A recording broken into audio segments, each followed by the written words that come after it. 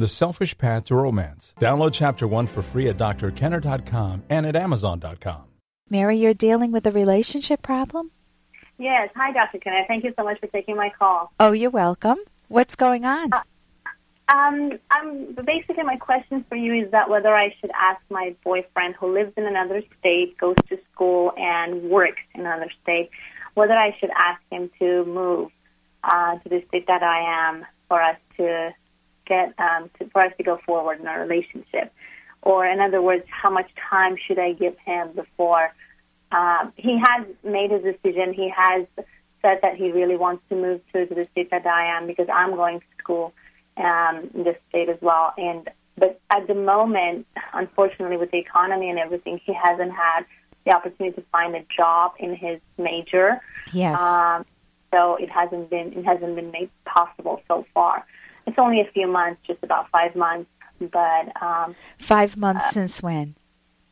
Since we we are officially dating and um, thinking okay. about so you're you're trying to see how committed is he and he says he's committed and now can I put a little pressure on him or at least give the request or invitation however you want to frame it to come move and live with me or live in the same town as me. How yeah, will, well, go ahead.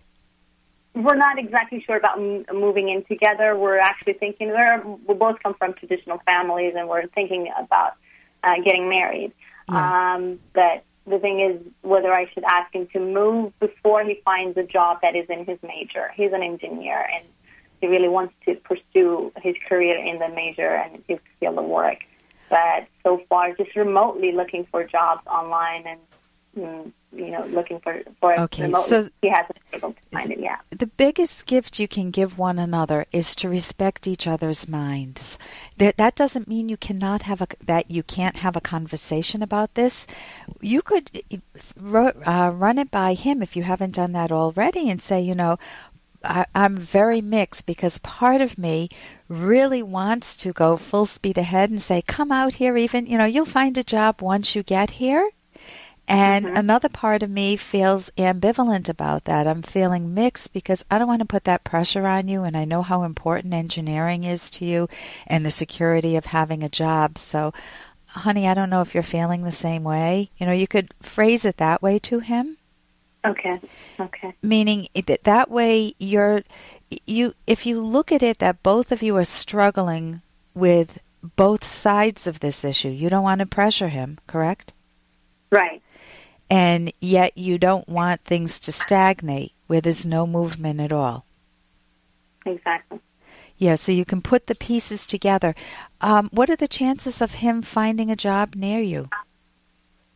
Um, unfortunately, right now it's really slim. Um, but but all of the effort has been remotely, so I don't know if it makes a difference if he actually is here. And because um, as far as I understand, my major is different. And I don't know much about his, but far as I've learned is that um, he's been trying to to look for it online and putting up his resume and sending his resumes and stuff. And so far, uh, no luck. Okay, he's still in school in another state, though. You said he's working on his master's. Yes. So does he need to stay in that state to finish up his master's? Um, he's thinking of transferring for the program for his master. He's um, he's able to transfer. He's just started his master program. This is his first semester. Yeah. So he's able to transfer three of his courses to California, where I am. Okay. So if he can trans, um, if he can transfer, that would work out. So basically, you said you've been together five months, but you're not living together. Yes, no, we're not. How often do you get to see one another? Um, just about every few weeks, three every three weeks or so. And it, it, is he someone that, um, it sounds like you're pretty serious about him. Yes. You, how old are you? I'm 28. Okay, 28. So you're really, it's not like you're 17 years old deciding whether you want to settle or not. You're 28, right. you pretty much know what you want. So everything sounds like it's going smoothly. There doesn't seem to be any problem, I, I mean, in terms of just touching base with him and working it through as if you're lovingly putting together a puzzle. Of Okay. what makes the most sense and be willing to look at his side, be re- willing to really respect his mind, and then you can tell him what your side is. And as I said earlier, if you frame it as, you know, we both probably are on both sides. If you had side A and side B, one is to get the job first and to wait till you're more settled, and side B is to uh, come out here and we get to be with one another and do your job search here remotely. Uh, and we're both on both sides, so let's try to figure out what makes the most sense together. Okay. Okay, any other questions? If I may, one more, if Sure. I have time. Would that be okay? Yep, that's fine. Okay. Um, do you think? Um, I don't know how to phrase it, but I, I'm, I'm going to do my best. Do you think it would be a, mm, a potential problem if uh, the woman in a relationship or in a marriage makes more money than the man? Hey, I got to interrupt this because we've got to pay some bills. 30 seconds, that's it. A very quick ad, and then Ellen will be back. Romance. Ugh, I wish guys knew more about what we want from a relationship. Boy, I wish I knew more about what I want. Where's that ad I saw? Ah, here it is The Selfish Path to Romance, a serious romance guidebook. Download chapter one for free at selfishromance.com and buy it at amazon.com. Hmm, The Selfish Path to Romance. That is interesting. Do you think it would be a, mm, a potential problem if uh, the woman in a relationship or in a marriage makes more money than the man? Well, it really depends on. You said you you're in a traditional role, so if you assume the traditional role of the 1950s, would that be a problem? I guess so. Yeah. Yeah, in the 1950s, I can remember even being told by my own papa that it's the Yeah. male ego that matters most.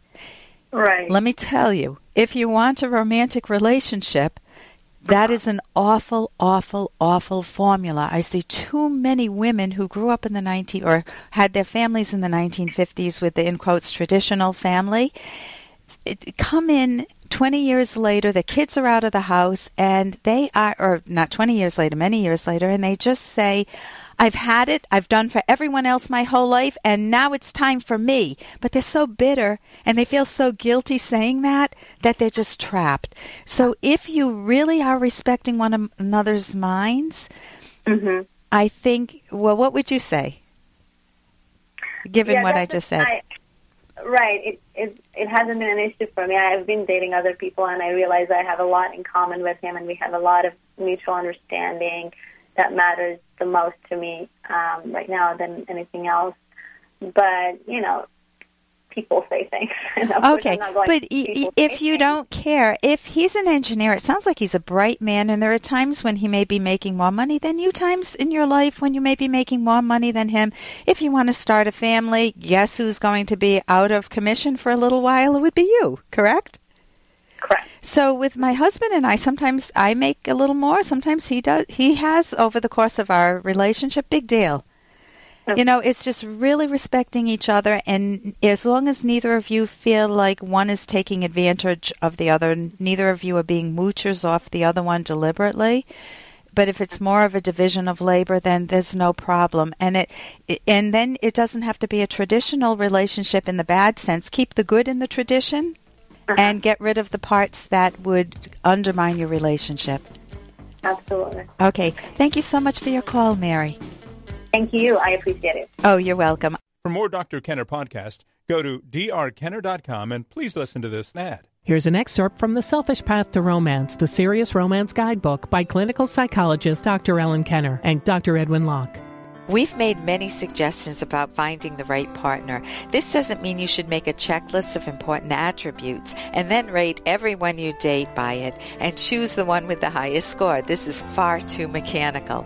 It's best to spend time getting to know the person and to keep track of both your own rational judgment of and your emotional responses to that person. Identify what you like and do not like about the person and why. Introspect to identify the causes of your reactions. It sometimes helps to put your private thoughts into words, and keeping a personal journal is helpful in translating feelings into clear thoughts and tracking your love trajectory over time. You can download Chapter 1 for free by going to drkenner.com, and you can buy the book at amazon.com.